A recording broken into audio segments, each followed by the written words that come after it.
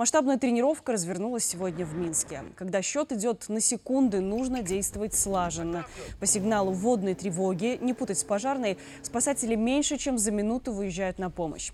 Водолазы в гидрокостюмах. Без них работа в холодной воде невозможна. Сотрудники МЧС применили весь арсенал, включая специальный трос и плот.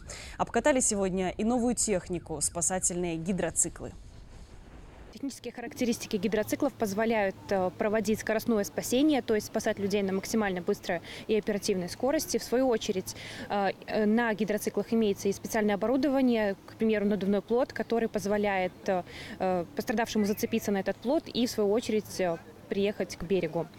Э, что касается маневренности, то подобного рода устройства более активны и маневренны, нежели э, те же самые надувные лодки, поэтому они будут активно использоваться на э, европейских играх. Тренировки проходят, как правило, раз в полгода. С подобными ситуациями спасатели на практике сталкиваются каждый купальный сезон.